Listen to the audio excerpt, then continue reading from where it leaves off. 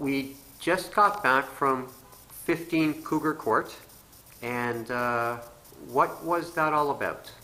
Which is that the residents were fed up with how City Hall works. And Scarborough isn't the, one of their priority on their agenda. Scarborough's been left out for the past years. Uh, we have contacted our current councillor Crawford to come out and look at all the potholes that were that are there at Cougar Court that's been there for the past 10 years. They haven't been patched or even looked at from the city. Even though it's a private owned street, the city should have come down and did, issued a bylaw for the property owner to fix it as soon as possible. It is a safety hazard.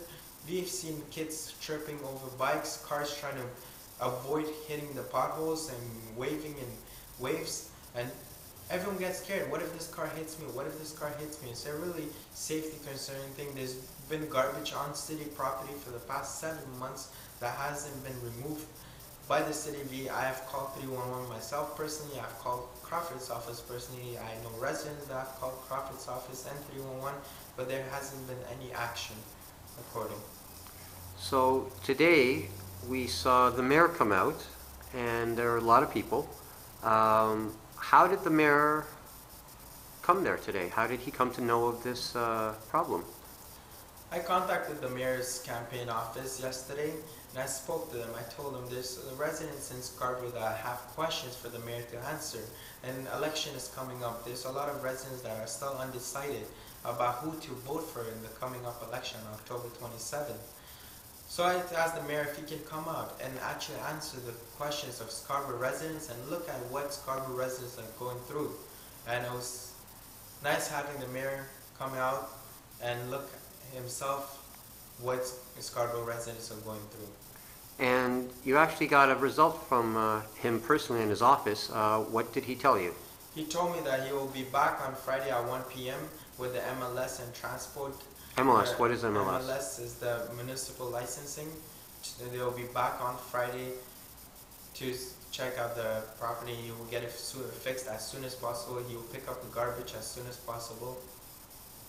And it wasn't just uh, an event for the mayor, you invited others. Who else did you invite? I invited five mayor all five mayor candidates. I invited David Soknacki, Karen Stintz, Olivia Chow, John Tory, Mayor Rob Ford. I got a letter back from Karen Stintz, David Soknacki that they could not attend due to scheduling. I got a call from John Tory, saw a campaign office that he was double booked, so he could not attend unfortunately. I invited Olivia Chow. And did he call you personally? Yes, Uh, Mr. Tory called you on the phone yes, uh, to say he couldn't come? yes. Okay. Um, And uh, the last And, uh, candidate? I invited uh, Olivia Chow, but Olivia Chow did tell CP24 that she was not invited, but I did invite, I spoke to Olivia Chow's office at 4 p.m. yesterday, and I did invite her.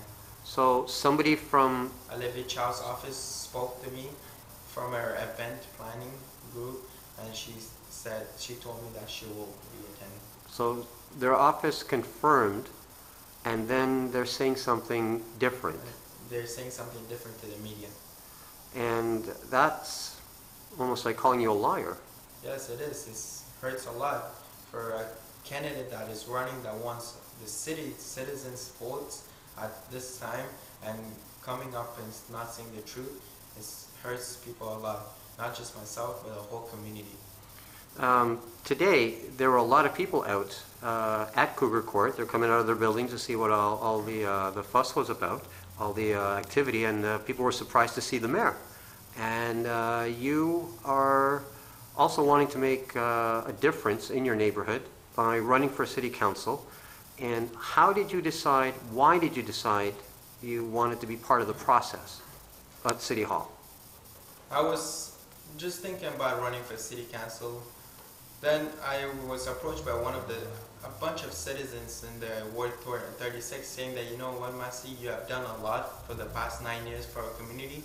It's time for you to stand up for us at City Hall and speak out for our voice. We don't have a power at City Hall at the moment.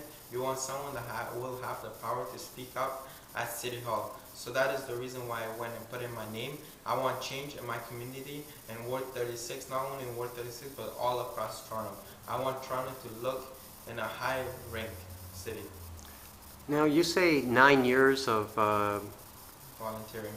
volunteering. What what does that entail? What have you been doing?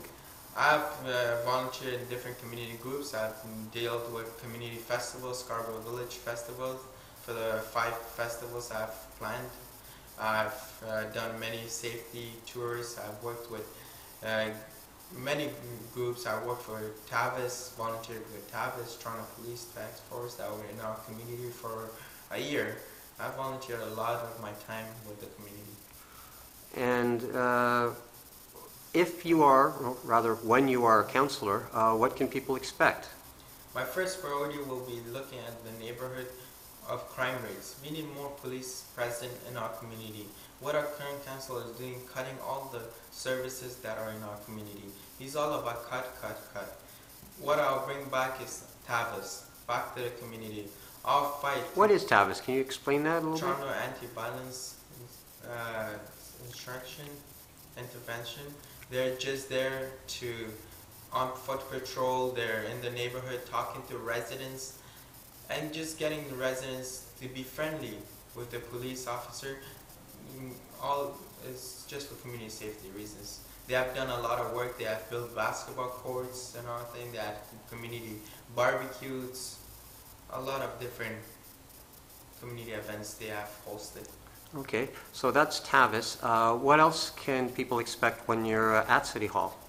There's one more thing, transit, build new bus routes. There's no bus that goes along Scarborough Golf Club. People have to walk kilometers from their home to get to a bus stop. Why can't they have a bus stop right there?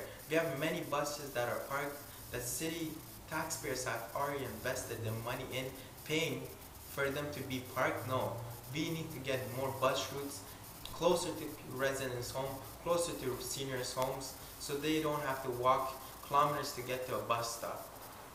And on top of all that, um, one of my main things is youths.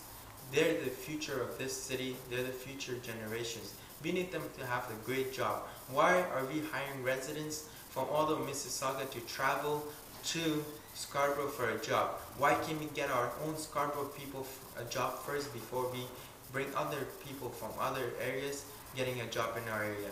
Third thing is childcare. Childcare, I want to change the operation of childcare hours from 9 a.m. to 9 p.m.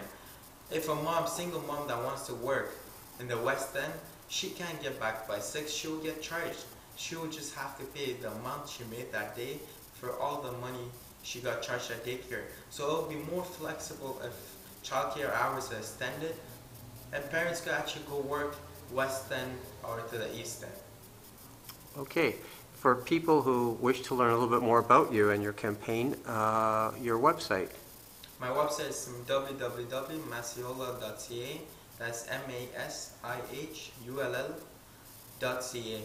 And you're also on Twitter? Yes, I am on Twitter. My Twitter is M M M M Mohebzada.